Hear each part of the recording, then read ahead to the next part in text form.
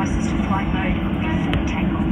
Phone and tablet devices may be damaged or destroyed if they are caught in the seat mechanism. Please check the location of your electronic devices before you adjust your seat. If you can't find them, avoid moving your seat. Just ask a crew member for help. It's time to ensure your armrest is down, your seat back is upright, and your tray table is stowed before takeoff. And if you missed anything, it's on your safety card in your seat pocket.